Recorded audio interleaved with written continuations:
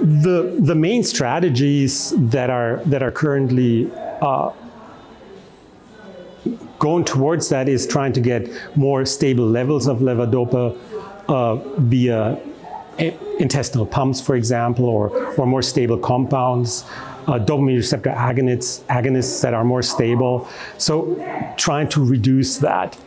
Uh, there are other medications uh, that are in testing phases, but there's really not much out there. And so any, any drug like ketamine that can actually have a reduction in these dyskinesias uh, will allow a longer good life with levodopa, and levodopa is still our gold standard treatment. So if you could actually improve uh, that lifetime, that good lifetime with levodopa, uh, several years with, a, with an adjunct treatment, you would actually go a long way to improve the quality of life of patients.